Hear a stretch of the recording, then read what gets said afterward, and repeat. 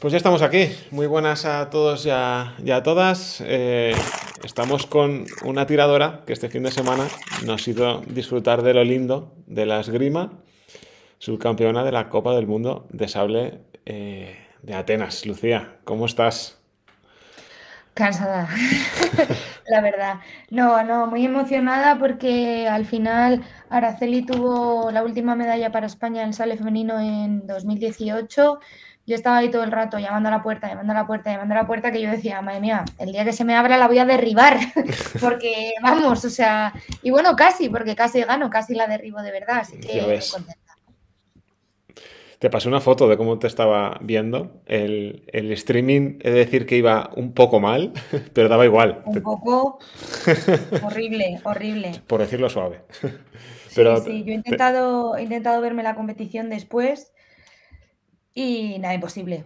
8-1 y de repente 11-3, de repente 15-4, digo, joder. Le daba como más emoción a la competición. ¿Has sentido el cariño estos días de la gente? Buah, locura. Me colapsó Instagram. Me colapsó Instagram. Ya no me llegaban notificaciones, no me llegaban mensajes directos, nada. De repente iba viendo las historias de la gente y pues eso, típico que te sale añadir a tu historia y decía, pero si no me ha llegado ningún mensaje de esta persona porque ya se colapsó totalmente. No sé si llegué a tener 70 o 80 mensajes directos de notificaciones de Instagram y ya mi Instagram dijo, se acabó. Bueno, eso ya sin contar WhatsApp. Ese no colapsa nunca, pero bueno, locura. O sea, locura. Estuve dos horas contestando a la gente. Fue súper emocionante y todo el mundo, la palabra más repetida era, joder, el streaming es horrible, no se ve nada. Y yo, ya, bueno. Enséñanos ese, bueno, aquí está. He de decir que me he llevado el mejor trofeo de todos. Es, chulo, es ¿eh? el más bonito de todos. Y bueno, chicos, para los que no me conozcáis, em, mis capacidades especiales son hacer el ridículo y romper cosas. Así que, pues. bueno, hacer esgrima también es una capacidad especial que tengo, ¿vale? Pero la de romper cosas destaca más. Antes de llegar a Madrid. muy chulo, muy merecido por descontado. Muchas gracias. Eh, ¿Lo tienes asimilado ya? ¿Que, es tuyo? ¿Que es para ti La verdad es que no. La verdad es que no. Dices, como le pasa a muchos deportistas, ¿no? Que dices tanto, tanto, tanto esfuerzo y oye, cinco segundos, te subes, te haces la foto y se acabó. Pero la verdad yo estaba ahí que podía haber seguido la competición cinco horas más. Estaba súper, súper concentrada, o sea, podía con todo. Se notaba. Entonces, no termino de creérmelo, yo creo que porque entré en un nivel de, flow, ¿no? De concentración extremo, me parecía completamente irreal. Estuve, yo llevo un reloj Garmin para entrenar y competir. Estuve ocho horas en el pabellón solo compitiendo. Sin Coméntalo para que no sepa qué, es, eso. Ah, un reloj Garmin es un reloj pues con pulsómetro, mide la altitud y pues te mide las constantes y, y eso. Entonces yo pues a principio de temporada, en verano, me hice unas mediciones de cuál es mi parte anaeróbica, en cuál estoy en más fuerza, así de, todo y pues así regulo los entrenamientos. Siempre intento estar entre un determinado número de pulsaciones, que luego eso es un poco también, no es 100% real, ¿no? Pero bueno, te da una idea. Y tenía el Garmin puesto en, en contar y bueno, pues me salió que estuve ocho horas en el pabellón y para mí fueron como 25 minutos. sí, sí. Vamos a ir comentando si te parece los duelos. Eh, bueno, primero empezaste con un plenazo en Pulse. O sea. Sí, sí. Eh, ¿Cuáles eran tus sensaciones? ¿Cómo, ¿Cómo, te ibas viendo conforme ibas ganando uno, otro, otro? Pues eh, la esgrima es un deporte muy complejo porque, en, sobre todo el sable y el florete, hay un árbitro y decide, ¿no? Y todos nos creemos que lo que nosotros sabemos es lo que es pero es que a veces un tiempo sobre la preparación, o sea, uno inicia el ataque y el otro quiere salir sobre su ataque, sobre la preparación de ese ataque, nos creemos que es igual en España que en Canadá. Y no es así, porque vienen de escuelas distintas y al final los árbitros tienen sensaciones distintas. Entonces yo al principio de mi pool tenía dos árbitros, uno griego y uno canadiense, y no entendía muy bien el criterio del canadiense. ¿No? Entonces mi primer asalto fue 5-3 y le pregunté, le dije, pero ¿esto por qué? Me dijo, no, porque tú sales después de que ella cometa el fallo, entonces para mí no es suficiente. Y dije yo, vale, vale. Entonces es muy importante saber que la realidad es la del árbitro, no la tuya. Entonces dije, vale, pues tengo que o salir antes en el fallo o provocar otro fallo para salir yo. Entonces, pues el siguiente asalto fue también 5-3 y ya los siguientes que yo ya había, ya tenía el feeling que el árbitro iba a dar, pues fue 5-0, 5-0, 5-2 y así, mucho más. Ya entendía lo que, él, lo que él iba a dar, entonces podía jugar ya según sus normas. No pensé que fuese a salir de número uno, la verdad, pero bueno, una alegría. Llevo ya dos, dos números uno. Tenemos otra competición la semana que viene, a ver si consigo estar exenta. Pero bueno, si no estoy exenta tampoco estoy preocupada porque el primer día se me está dando bien, así que voy tranquila en ese aspecto. Más con confianza, ¿no? Claro. Sí, siempre. Em, eh, estabas diciendo que hablas con los árbitros. Eh, hablamos con eh, una nadadora artística que nos comentaba que también tenía la posibilidad de, hablar con los jueces para, para, para, que les explicaran cómo mejorar. suele ser bastante común. ¿Son accesibles los jueces de esgrima con vosotras para, y con vosotros para poder eh, corregir? En general suelen ser bastante accesibles, tanto durante el asalto como después, porque ellos también son personas y no quieren generar conflicto. Entonces, también ellos quieren que tú entiendas por qué están dando eso. Algunos para ayudarte y a otros para dejarte claro que te están queriendo iba a decir una palabrota, pero que te están queriendo fastidiar. tipo, pues no, mira, es que yo lo veo así y dices, bueno, pero es que tu explicación no tiene ningún argumento, así que no sé yo. Pero sí, sí, en general son bastante accesibles todos. Eh, qué importante es para el deporte eso, porque si no, luego al final mm. no. Pasas al tablón de final de 64, te toca Seri Ozaki y te toca remontar. Y vas 9-14 atrás. ¿Qué pasa ahí? Me toca fatal. Pues mira, esa chica ya me tocó en la pool de Georgia y los japoneses tienen un tipo de esgrima y han cambiado de entrenador. Ahora tienen un entrenador de Estados Unidos. Entonces han hecho un mix un poco raro entre la esgrima de los japoneses, la de los coreanos, que era el entrenador que tenían, y la de los de Estados Unidos. Esta chica en Georgia. Frankenstein ahí. Sí, sí. No, no, total. Esta chica tiré con ella en Georgia en una pool y no sé si me meto un 5-1 que no lo vi, o sea, ni venir, no, no me esperaba nada, ni esa esgrima, ni ese salto. Entonces, yo tuve otra japonesa en la pool, que era Takashima, que fue la que me tocó en el siguiente asalto. Y yo preparé el asalto de, la, de esta chica de Ozaki, igual que el de la Takashima, que era entrar, esperar su fallo y entonces tomar yo la iniciativa. Y Ozaki dijo que ya no iba a fallar. Entonces empezó en el medio, en el medio, en el medio, en el medio. Yo intentaba esperar el fallo, pero claro, ya no cometía ningún fallo. Con, un fallo me refiero pues a perder un tiempo para hacer cierta acción, para intentar engañarte. Iba muy directa. Entonces en el 14-9 ya mi, el entrenador que estaba conmigo me dijo como que no, que es directo, es paso lento y directo al pecho. Y paso de lento uno, lo metí, otro, lo metí, otro. Y es muy importante que cuando encuentras un agujero, el agujero a muerte, o sea, tú no sales del agujero ahí, pam, pam. Igual que tú a veces estás en el agujero y te meten a ti 5.000, ¿no? Pues cuando la otra ha entrado, los nervios, quieres ganar. Y sí, aprovecharte de las brechas, ¿no? Claro, claro ella no lo está viendo, igual que yo al principio del asalto no estaba viendo cuál era su ritmo, pues yo tengo que seguir mi camino hasta que ella cambie. Si la que tiene más posibilidades de, de ganar es ella, pues yo sigo mi caminito y que sea ella la que cambie. Y entonces lo pude resolver al final. También fue un poco de experiencia. Yo creo que esta chica, no sé si es junior o no, pero claro, la experiencia es un grado, no te pones nervioso, estás más calmado. Que estaba uno de, derrotarte, se quedó. Sí, sí, sí, total, total. y seguro que si vemos el vídeo, Seguro que si vemos el vídeo hay tocados que diría, pues mira, yo se lo daría a ella en vez de a mí, o al revés, o estos serían míos y no suyos, porque el árbitro era de era azerí, de Azerbaiyán, entonces, claro, según su criterio, pues el primer tocado yo estuve a punto de pedir vídeo, porque para mí era tiempo sobre la preparación. Te iba a decir eso. yo, eh, claro. Yo, soy muy de quejarme, pero te vi protestona con, con ese juez. No, no, total. Y luego, sin embargo, me arbitró en toda la competición, porque en cuanto ya entendí lo que él daba, bueno, eso que las pobres otras no las di tampoco mucha opción. Su luz parecía que se había fundido, la verdad. Sí, sí, pero sí, estuve ahí al límite. Esto decíamos, que qué deporte este, ¿no? Podía haber pedido en 64 y sin embargo segunda. Luego pasas al de 32, decías que te, mides contra la japonesa con la que te habías enfrentado en, eh, en Pulse y ahí y empieza el modo huracán eh, tuyo, eh, ganas 15-9, como ¿Ya te veías con confianza por haberle ganado previamente?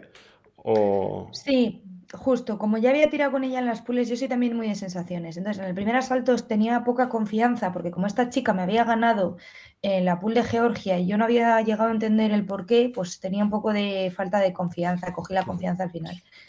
Sin embargo, con esta chica, con la Takashima, iba tranquila porque sabía, yo ya la había ganado, sabía cómo la había ganado y tenía que seguir pues ese mismo caminito.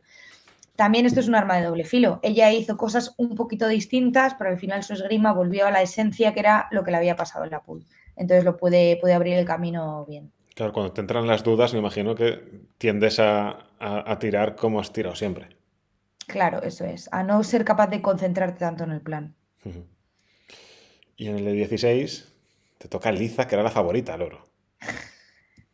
Sí, es que encima le tenía unas ganas a esa niña porque me ha echado, sí, sí, me ha echado dos veces. Una vez me dio ella a mí una paliza, no sé si fue 15-8 o 15-9, o sea, igual el de marcador no fue tanto, pero yo sentí que esta niña me había pegado por todas partes. Decía, joder, me ha pegado. Y luego otra perdí con ella, no sé si a 13 o a 14, entonces el otro día tirando por equipos con ella en, en Plovdiv, sentí muy bien ya cuál era su juego. Lo sentí súper bien, me sentí dije, vale, hay que hacerle esto, esto, esto y esto. Entonces, le hice eso durante el asalto. Al principio me equivoqué, porque de hecho iba perdiendo 3-1. No era capaz de abrir del todo, porque esta chica es muy larga, tiene mucha envergadura. Entonces, me creía que le iba a dejar corta. En uno, de hecho, me toqué yo y dije, joder, qué pringada soy. Porque como la cazoleta es de metal, no total, como la cazoleta es de metal, si te tocas a ti mismo y te tocan la cazoleta o el sable, pues enciende. Y dije, madre mía, parezco una M15 aquí, me está pegando, me estoy pegando yo sola y luego conseguí hacer la preparación para la que yo estaba preparada y bueno, 3-1, 15-4, o sea, le metí un 14-1 de parcial. ¿Cómo, ¿Cómo, afrontas mentalmente antes de salir el, el combate? Porque asustada no irías para... Sí, la verdad es que no. En esta competición me sentía particularmente valiente. Ya cuando sientes que podías haber perdido en 64 y hay un 14 y tal, dices, uff, podía haber muerto, tenía la soga al cuello y me la he conseguido quitar y he salido de ahí, así que otra vida, otra oportunidad. Y también es que tenía muy claro el plan, estaba tirando muy bien, al día anterior me sentí súper bien tirando en las pules, entonces sabía que estaba, tenía mucha confianza, sabía que me iba a salir, que si hacía lo que tenía que hacer, me iba a salir. Yo también soy una persona que me ayuda mucho bailar y tengo mucha energía, entonces moverme y eso, entonces tenía puesta la música, bueno, estaba en la cresta de la ola surfeando totalmente, que yo creo que la de la aguada debió decir, no sé a qué le voy a hacer al doping, pero a esa seguro, a esa de ahí que va volando así, bailando, se lo voy a hacer seguro. Pero entonces eso, estaba muy relajada y con mucha confianza. ¿La, la veías venir cuando, me refiero, es como si lo vieras en, cámara lenta o algo, porque para ganar 15-4 es como que le estabas leyendo toda, toda su estrategia. estaba leyendo todo y sobre todo yo estaba poniendo muchas trampas y estaban cayendo todas en mis trampas. Yo les ponía la hoja, se la quitaba, se la ponía, se la quitaba, se la ponía y cuando ella se creía que se le iba a quitar otra vez, ¡pam!, le tocaba la mano. Luego hacía la acción totalmente contraria de la que había hecho. Entonces eso también como cerebralmente, mentalmente te destruye, como decir, madre mía, me ha metido un tocado, he intentado justo lo contrario y me lo ha vuelto a meter. Entonces eso te quita la confianza en el ataque y yo tengo mucha seguridad en mi defensa. Entonces fue ahí y en el medio, como me sentía todopoderosa, la verdad.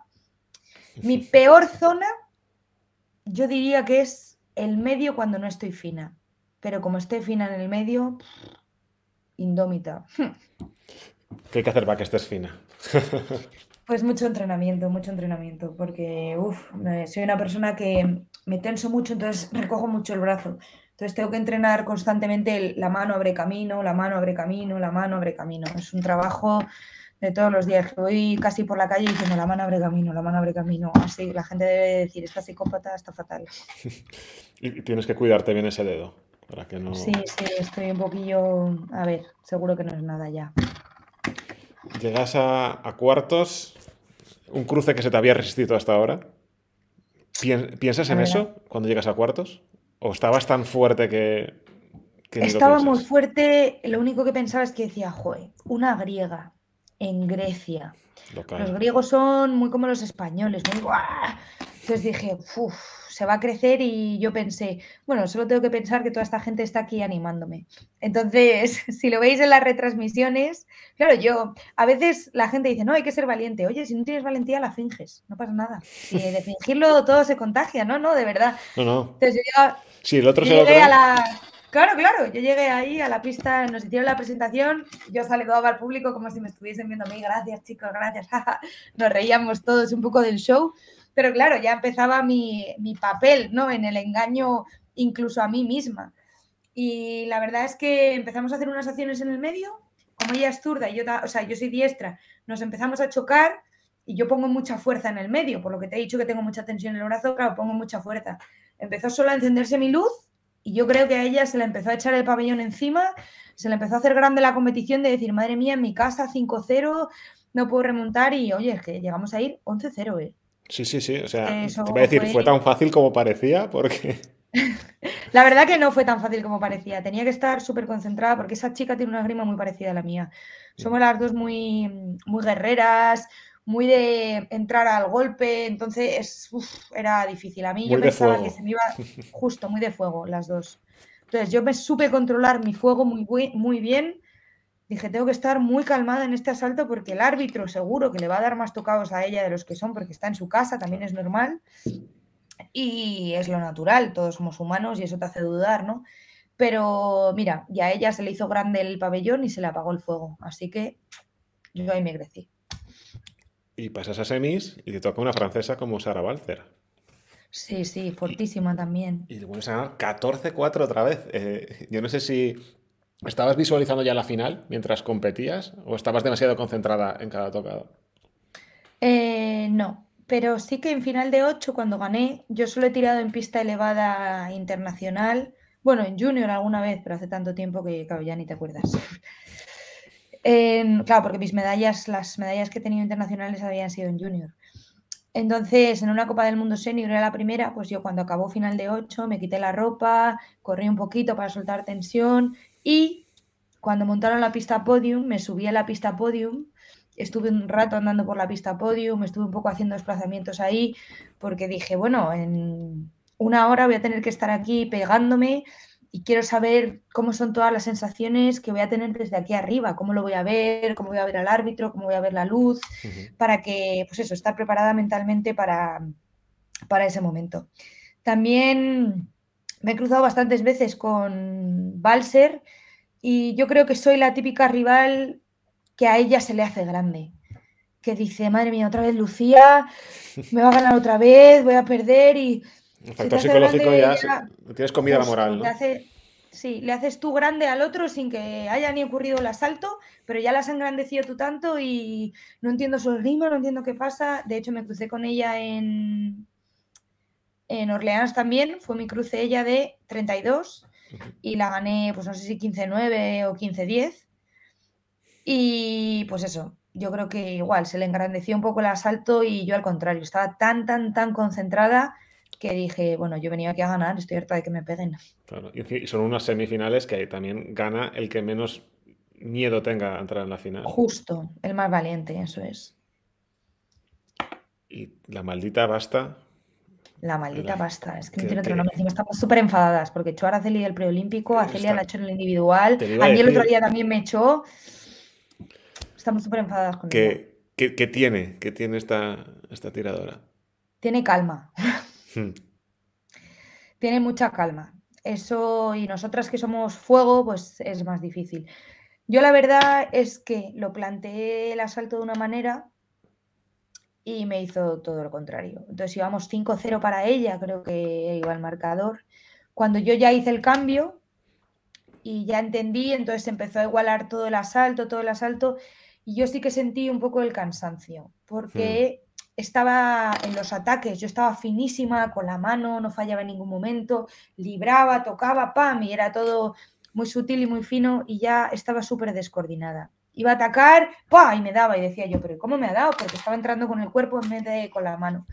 Entonces yo creo que el cansancio ahí también hizo un poco de las suyas y me descoordinó un poco. Creo que tuve tantas ganas de ganar que dejé de pensar en cómo ganar. Te precipitaste un poco, perdí. quizás. Mm, mm.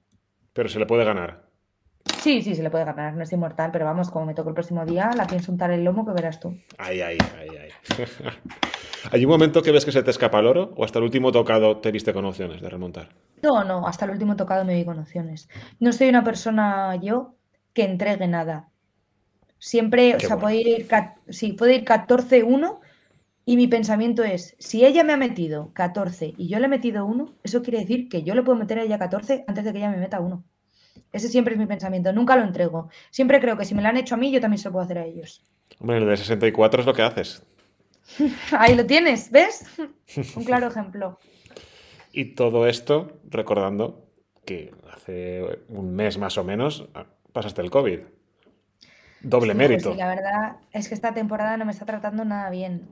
la gente no lo sabe esto, pero en septiembre a mediados y ya fue del todo a principios de octubre, me rompí el vasto lateral, el recto anterior, trochanteritis en la cadera, tuve una montada, estuve, he estado desde noviembre hasta hace dos semanas sin entrenar prácticamente nada, dos infiltraciones en la cadera, no podía hacer absolutamente nada. Iba solo competía, porque claro, teníamos que competir. Y iba, competía y luego, claro, malísima, no podía hacer absolutamente nada. Joder, Lucía. Georgia, sí, sí, Georgia, quedamos. Orleans hice 16 con dos partes de la musculatura de la cadera rota.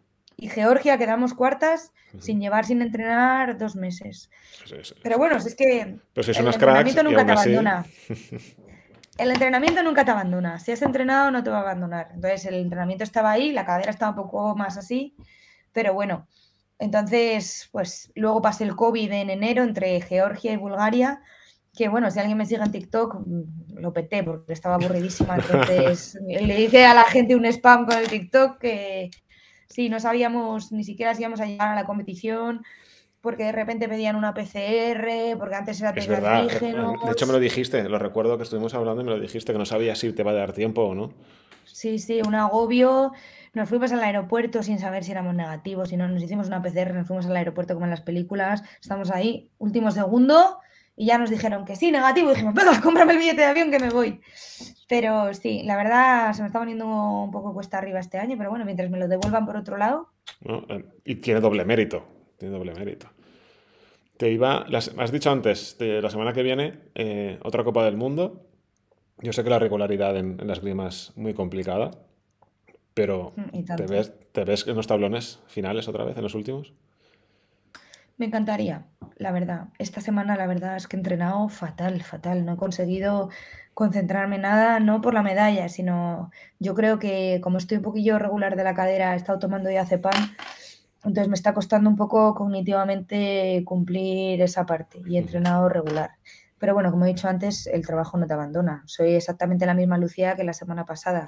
Tengo que limpiar algunas cosillas, pulir algunos detalles, pero yo creo que sí. Si ya voy pensando yo que no lo voy a repetir, ¿cómo lo voy a repetir? Además que se te ve motivada para volvértelas a comer. O sea, escuchándote. siempre, siempre. Escuchándote.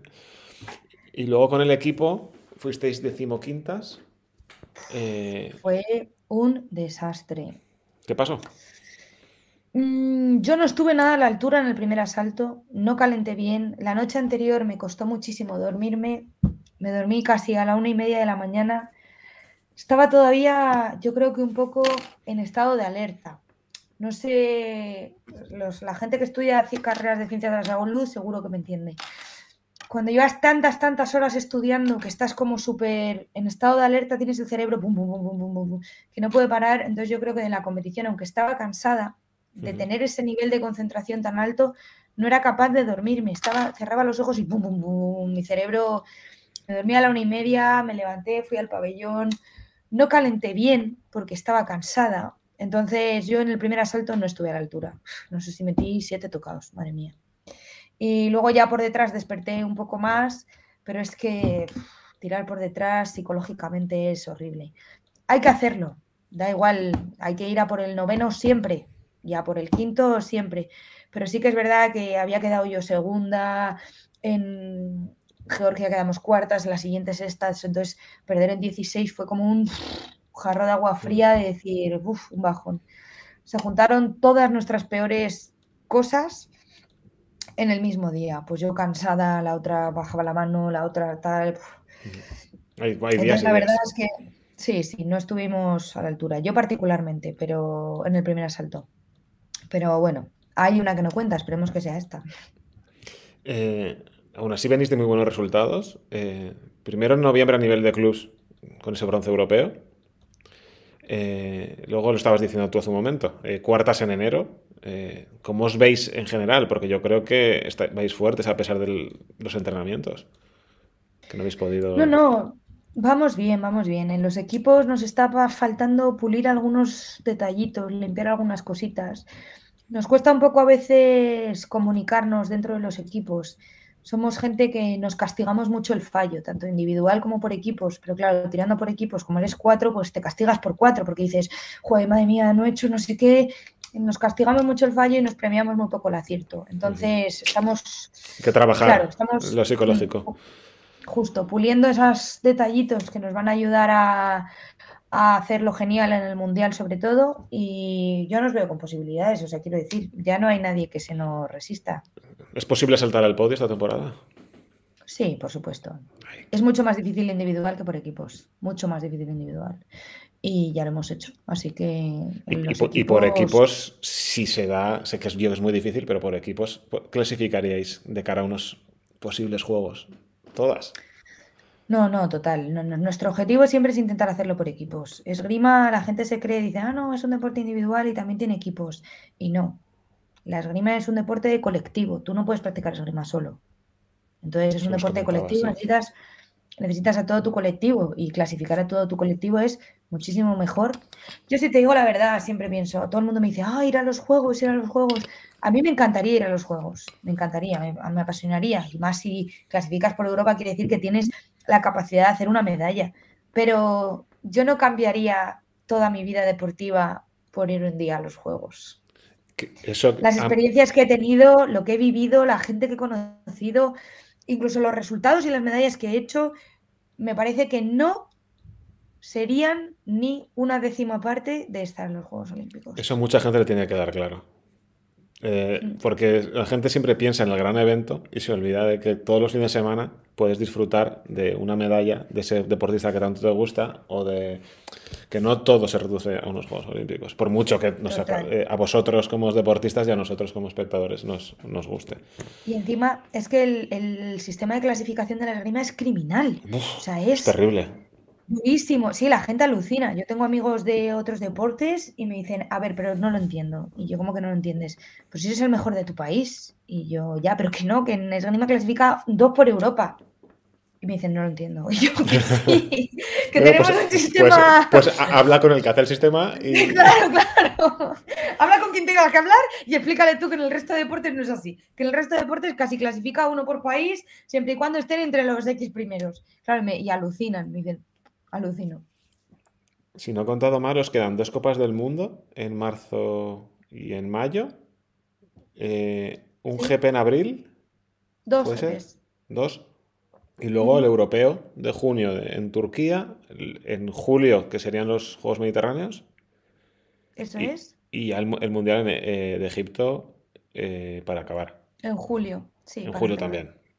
Sí. En lo de los dos GPs, claro, es que el- había un GP en Moscú y lo han quitado. Obviamente, ¿no? Porque no vas tú con tu visa y te dan un Kalashnikov también, ¿no? Han- la- no sabemos la sede ni nada. Me encantaría que fuese en España, pero creo que no va a ser posible eso. Porque han montado el sistema de organización de los GPs, necesitas unos 150.000 euros para organizarlo. Entonces, no, España no se puede hacer cargo, nuestra federación, de eso. Pero nos quedan el GP de Seúl, el que sería el de Moscú, la Copa del Mundo de Turquía, que está sustituyendo a Bélgica, y la Copa del Mundo de Túnez, que esa siempre ha sido en Túnez. Europeo, Mundial, Juegos del Mediterráneo, bueno, y las pruebas nacionales, que Sí, hablaba a nivel este miércoles, mm, este miércoles tuvimos el Campeonato de Madrid Universitario y a la vuelta de Turquía tenemos el Campeonato de España Universitario, más un torneo de ranking, más el Campeonato de España y uf, etcétera. En esgrima competimos mucho. ¿Y ¿Hay algún, ¿Hay algún torneo que lo tengas fijado en el calendario como objetivo de aquí? De todos los que quedan. O- o- Todos. todos. Me imaginaba la respuesta, pero te lo tenía que preguntar. Es que yo llevo fatal la derrota, no me gusta perder ni al parchís. Fatal, sí. Mi novio y yo siempre jugamos mucho a juegos de mesa porque nos gustan mucho los juegos de estrategia. Y es que soy una picada. Fatal. Siempre acaba en discusión. No sé, no sé si alguno habéis jugado alguna vez al Catán, pero es que no sé ni cuántas veces en mi vida he podido lanzar así el Catán eh, volando. mi pareja es igual, así que te entiendo. No, no, una picada. Entonces, para mí todos son, hasta los entrenamientos a veces son objetivos de competición. Mira, en el chat nos dicen, eh, JVG12, dice, en Turquía parece que vas a quedar exenta de Pulse. Ojalá, ojalá. Sí, es que para los que no lo saben, eh, eh, se cierra esta noche a las 12 de la noche. En esgrima, las 16 primeras del ranking internacional que se inscriban a la competición no tiran el primer día de pools. Entonces yo voy la 25 y en el ranking internacional general ha habido, siempre después de Juegos Olímpicos y sobre todo en las de mujeres pasa más, pues claro, la gente planea sus embarazos para después de año de Juegos y cosas así para que tengan más tiempo para llegar a los siguientes Juegos Olímpicos, etcétera. Siempre nos reímos porque decimos que los hijos de las mujeres deportistas siempre se llevan cuatro años, ¿no? Porque están entre los ciclos de los Juegos. Entonces, ha habido un par que están embarazadas, son tres, las de Rusia que naturalmente no pueden participar, que son otras tres que están delante de mí, y luego ha habido, no sé si cuatro que se han retirado. Entonces, justo me quedaría la 15 o la 14, entonces no tendría que, participar, que ojalá, pero también te digo, si tengo que participar, pues hombre, el otro día lo decía la competición, desde el infierno hasta el cielo, ¿no? También se sube. Eh, si puedes contestar, pasa, eh, que pasas palabra. Eh, ¿Estás de acuerdo con que las rusas no puedan competir? Uf, es un tema súper, súper complicado. Súper complicado porque las rusas son personas, no son un país. Pero también su país las ha financiado durante todo este tiempo. Entonces también son parte de ese país. Será tu país ha tomado una decisión tan loca como esta, Ana Basta, la chica que ganó, esa chica es rusa, pero esa chica antes de los Juegos Olímpicos, un año y medio antes, se cambió a Azerbaiyán. Entonces compite, no sé los motivos, creo que fue que se lo ofrecieron, ella era la quinta o la sexta de su equipo y dijo, bueno, pues adiós. a mí me parece estupendo que, claro. me parece estupendo que Ana Basta haya decidido representar a otro país porque dice, bueno, sí, yo soy de Rusia, pero yo soy de mí, yo quiero representarme a mí y si la posibilidad que tengo de representarme a mí es a través de Azerbaiyán, pues... Es un tema complicado, porque por ejemplo es que con el doping, ¿cuántas veces les han pillado como país? Bueno, es que les han pillado haciendo un doping de Estado, que les dopaba el propio de la Guada. Claro, y decimos, no, claro, es que los pobres deportistas no tienen la culpa, que vayan bajo la bandera del, del Comité Olímpico Ruso, pero es que eso que estamos haciendo al final es taparles así con una sabanita, ¿no? No está viendo, ha salido una niña de 15 años, 15, ¿no? Dopada en los Juegos Olímpicos de Invierno. 15 años, amigos. O sea, 15 años. 15 años que esa niña no se ha terminado ni de desarrollar. Igual no sabemos ni los efectos que va a tener sobre su cuerpo. que no tiene ni la ESO. Claro, o sea, entonces me parece un tema político, mm, o sea, un tema polémico, porque obviamente ellas no están, no toman ese tipo de decisiones, pero ellas también son financiadas por eso, ¿no? Eh, estabas comentando, eh, tras la actualización, eh, vas vigésimo quinta en el ranking, ¿te fijas algún puesto? O, no, miras del ranking, es una cosa que tú compites y lo que tenga que ser. Para mí el ranking, igual que para todos los que hacemos esgrima, a ver, obviamente ganar el ranking mola un montón, ¿no? Pero eh, siempre hablamos que la utilidad del ranking real es estar en top 16 para evitarte el primer día de competición y, por ejemplo, llegar más fresco a los equipos, que es que eso se nota, ¿eh? Parece que no, pero el primer día de competición, la tensión y todo, que el quiero ganar, pues, pues se nota. Yo a principio de temporada con mi psicólogo dijimos, bueno, en las primeras cuatro competiciones vamos a intentar sumar X puntos para intentar llegar al Mundial exentos, pero no intentamos como supercentrarnos en eso, siempre nos centramos en el rendimiento, en el rendimiento pero con nuestro plan de intentar llegar exentos al Mundial, exentos es en el top 16. Pusimos un número, la verdad, que no sé si era sumar 20 puntos en toda la temporada o algo así. Y he dicho, madre mía, en este torneo he hecho así y los he sumado todos de golpe. así que bueno, relajada en ese aspecto, ¿no? Claro. Eh, independientemente de todo esto, ¿rivales concretas a batir o evitar para que estemos pendientes en los cruces? Aunque no tengas miedo a nadie. Carla, Carla cuando vuelva, porque es que esa chica, siempre que he tirado con ella, ha perdido a 13, a 12, no sé si he hecho alguna vez a 14, pero es que a esa persona, macho, la disparas en las piernas y te digo yo que sigue moviéndose. O sea, las tiene biónicas, es una cosa sobrenatural, sí. Y bueno, el resto, la verdad, salvo ella, a mí no me asusta nadie ya. Basta, se me da un poco regular, pero yo soy al contrario. Sí, pero ya has dicho que se le puede ganar. Claro, yo cuando me ganan digo, quiero otra vez, a ver si me toca otra vez para no quedarme yo con esta espinita de nunca. Brunet también es un, un cruce muy fuerte. Bueno, ahora se ha cambiado el apellido a Petit Brunet. También es un cruce muy fuerte, pero tampoco me da nada de miedo. También la tengo ganas. Que vengan a ti. Sí, sí, total. Ahora soy yo la mamá. Te pregunto por, por un sablista en concreto que está destacando un montón. Eh, ¿Cómo ves a Santi Madrigal? De locos, de locos. Es cuando dices, se te junta talento, ganas, la familia que lo apoya. Claro, porque hacen falta un montón de pilares para que salga un deportista, porque el talento es condición necesaria, pero no suficiente. Tiene que tener también ganas, tiene que querer trabajar, tiene que su familia apoyarlo, porque tú explícale a unos padres, mira, que es que tu hijo es buenísimo en esto de pegarse con las espaditas y va a faltar a clase una semana porque se va a ir a un mundial. Entonces, claro, si tus padres son locos del deporte como nosotros y eso, pues van a decir, claro que sí, hombre, ya lo recuperará en otro momento. Entonces, creo que ese niño tiene todas las condiciones para brillar. También es súper joven y lo que hablábamos la última vez, que cuando dejas de ser junior hay ahí un periodo de, lo voy a decir mal y pronto, de comer mierda, porque es así. Hasta que te enteras de cómo funciona el mundo senior, ¿De qué va todo? también, claro, también en los hombres, en su caso, cuando corporalmente dejas de tener cuerpo de niño a tener cuerpo de hombre, porque ahí te estás pegando con gente de 1,90. Claro, unos se desarrollan antes y otros después. Claro, claro, hay gente que se desarrolla un poco más tarde y luego, incluso cuando ya se han desarrollado, hasta los 20, 23, una cosa así, todavía ensanchan un poco más, ¿no?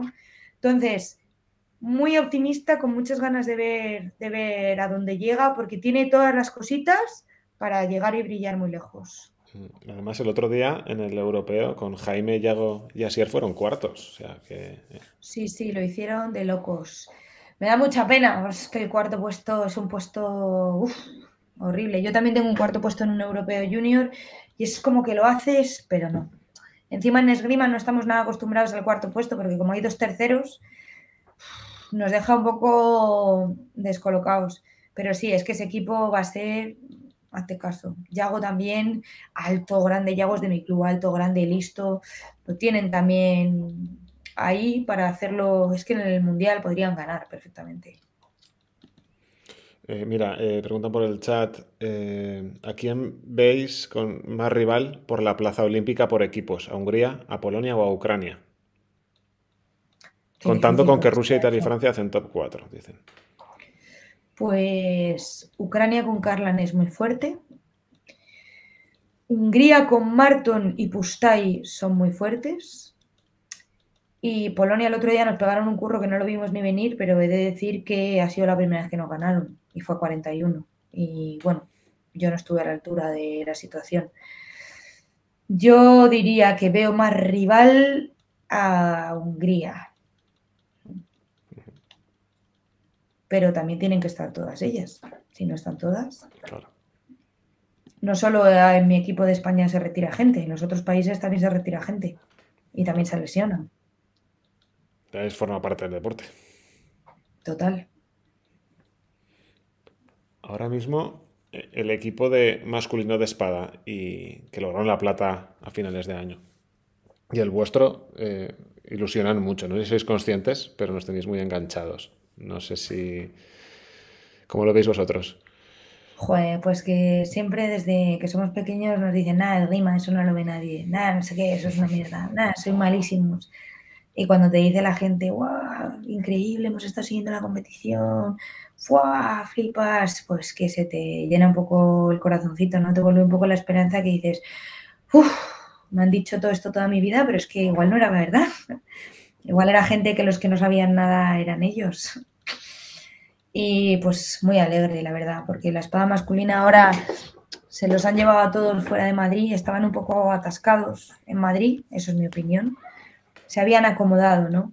Y les han mandado ahora a distintos destinos en función de lo que mejor les viene a su esgrima y yo creo que les va a ir de locos. Ojalá Julen pueda tener buenos resultados y, engancharse pronto. Ojalá. Es que Julen, el día que a Julen le pasa un poco como a mí, como esté salsero ese día, la gente hace así y dice, madre mía, ¿qué está pasando? Y el día que no estamos, yo también soy mayor que Julen, también por eso igual mis resultados son un poco más regulares que los suyos. También porque le saco cinco años de ventaja en, serenidad, ¿no? En lo que te digo, que si un día no estás salsero, pues lo finges, que te lo tiene que parecer también, no solo serlo. Te autoconvences. Claro, claro, tú te... Eso me lo decía María Mariño, que es psicóloga, es mi compañera de Florete. Un día le digo, joder, es que no me siento nada, tal, y me dijo, ¿y estás haciendo las cosas de cuando te sientes? Y le dije, ¿cómo? Y me dijo, claro, me dijo, la Lucía que se siente, se pone música, baila, está alegre y se convierte y hace su propia peli. Y dice, tú no estás haciendo tu peli, estás haciendo tu peli mala. y lo que tienes que hacer es las mismas cosas que hace la Lucía cuando le va bien. Y dije, tienes razón. Me puse mi música, me puse a bailar, me puse a hacer mis cosas y volví a sentirme yo otra vez. Qué bueno. Pues eh, no sé si, bueno, eh, hay una pregunta más. Sé, que no te puedo entretener mucho, que tienes una, una no, no te preocupes. Pero... No te preocupes, eso es nueve y media, ya contaba con entretenerme.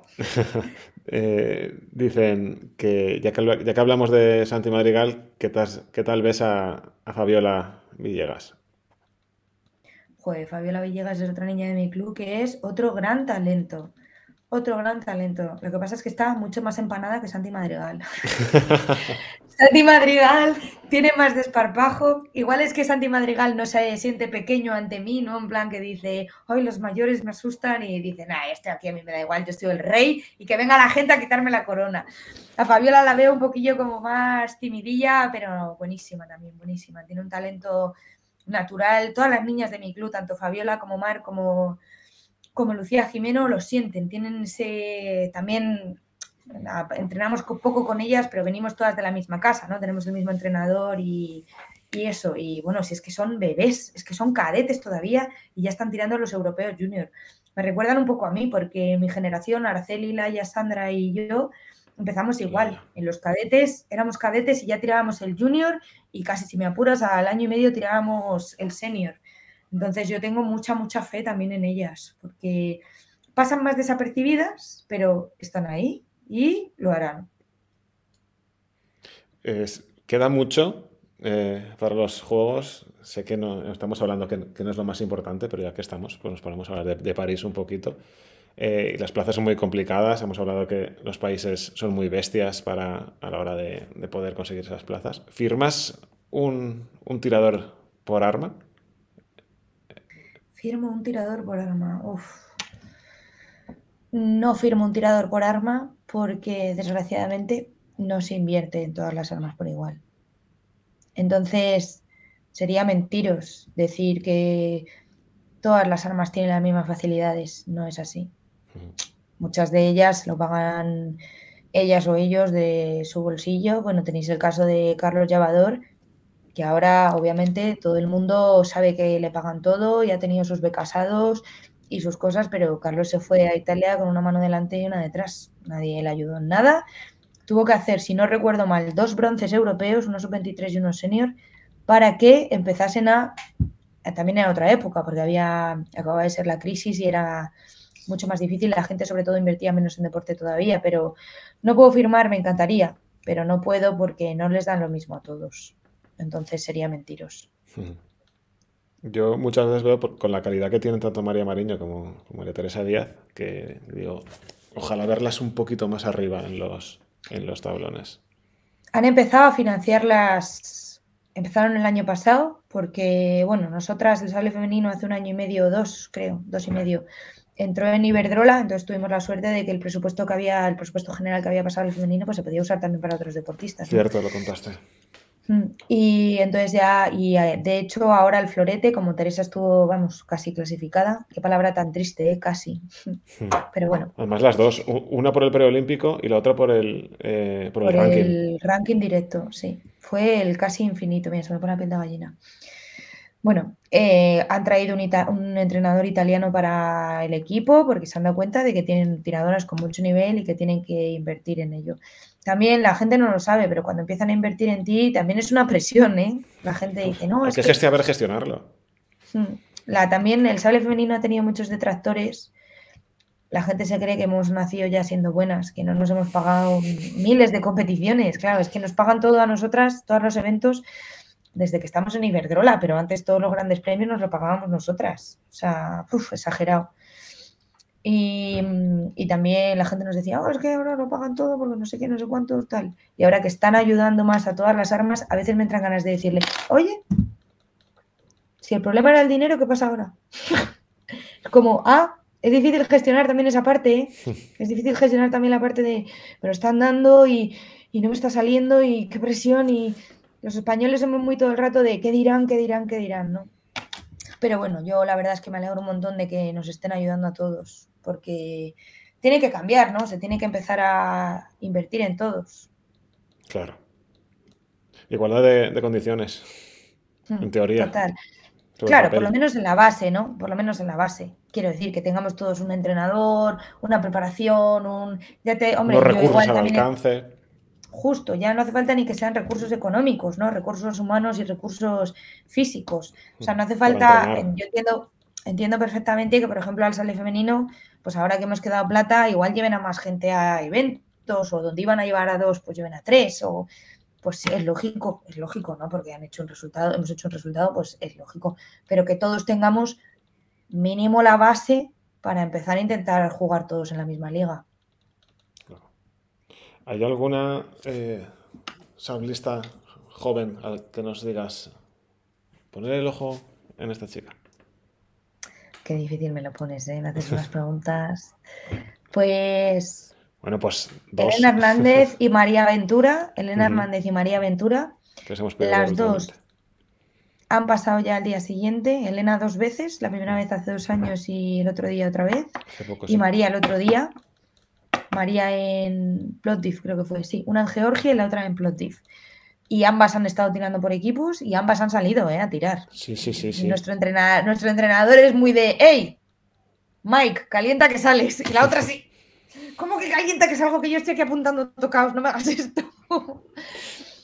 Pero sí, ya han estado bastante a la altura. Les ha entrado un poquito el pánico escénico al principio, pero luego han estado a la altura. Y bueno, Ichi, Paula y Ainhoa son las siguientes que se acaban de incorporar. Ichi, la verdad, Gallardo es apellida. Cada vez mejor, porque esta chica sí que está teniendo. el, otro día ganó el primero de, previos, ¿no? No. Sí, justo. Sí. sí, sí, Por eso yo justo iba a decir que a veces decimos, no, el rendimiento nunca es lineal. Digo, pues mira, en su caso lo está haciendo. Empezó haciendo pules, ahora ya pasa las pules. El otro día hizo, no sé si 3 y 2 o 2 y 3 luego ganó su siguiente asalto, perdió en 128 en dos competiciones, entonces digo, mira, justo, digo, Ichi, al final de la temporada ganas, al final de la temporada ganas el Mundial, se acabó.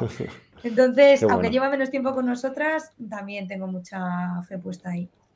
Ya te preguntaba, y con esto sí que vamos acabando, eh, la otra vez por, por Pirri, pero vuelven a, en el chat, eh, eh, hablan de si con la llegada de, a la presidencia de, de José Luis se ha notado una mejoría en la gestión de la federación. Uf, pues me encantaría contestarte, pero como no me dedico a la, a la gestión, no puedo. Justo a la gestión, hombre, yo te digo que el nivel deportivo, quiero decir, lleva menos de un año y él no da, no da consejos técnico-tácticos y los entrenadores, nuestro entrenador en nuestro caso, el que teníamos, ya estaba con el anterior presidente. Sí que, por ejemplo, creo que el, el chico italiano está desde que está él. Entonces, pues ha habido cambios, obvio, a mejor, supongo, pero, pero en mi caso está siendo parecido a lo, que, a lo que teníamos antes con el antiguo presidente. Y en cuanto a la gestión, ni frostis. Me encantaría contestarte, pero en la próxima asamblea lo preguntaré si quieres. Eh, bueno, yo creo que eh, eh, seguramente con la contestación se puede hacer también una... Yo sí que tengo que decir que lo que es nivel comunicativo se nota mucho su llegada porque hace directos en Instagram, eh, se, involucra un poco en, transmitir lo que es la esgrima, eh, a que sea un poco más transparente todo, que yo creo que sí que hay un, interés en que se conozca lo que hacéis, eh, hasta dónde llegáis. No, no, no, no, no. No me habéis entendido mi pregunta. El marketing y la publicidad es un crack, o sea, es un crack. Eso no se lo puede llegar, negar nadie. Desde que está tenemos como cinco patrocinadores nuevos. O sea, marketing y publicidad, un crack. Yo gestión me refería a gestión federativa. Pues es que mm, tampoco sé claro, es que ahí lleva. Tienes que estar dentro para saberlo. Claro, justo. Pero en eso es un crack. O sea, lo que has dicho tú ha llegado y ha sido besar el santo. O sea, sabe hacerlo perfectamente. Además es que eh, se coge, se planta el, teléfono y te resume lo que ha pasado aquí, lo que ha pasado allá, y es una maravilla. ojalá, ojalá otras federaciones hicieran eso, que, es imposible saber qué ha pasado. No, no, total, total. Pues Lucía, eh, te esperamos con los brazos abiertos para que nos enseñes el siguiente trofeo. Por supuesto. Que, vaya muy, muy bien y, muchas gracias por, estos ratos que sacas para, para pasarte por aquí. Bueno, a todos los que nos habéis estado viendo y a todos los que me seguisteis en la competición, estaba pensando que igual no es que se me haya roto un trocito, igual es que este trocito es vuestra parte de mi resultado. Ay, qué bonito. Entonces, Espera que te lo pongo, te pongo el trocito en grande para que lo vean bien.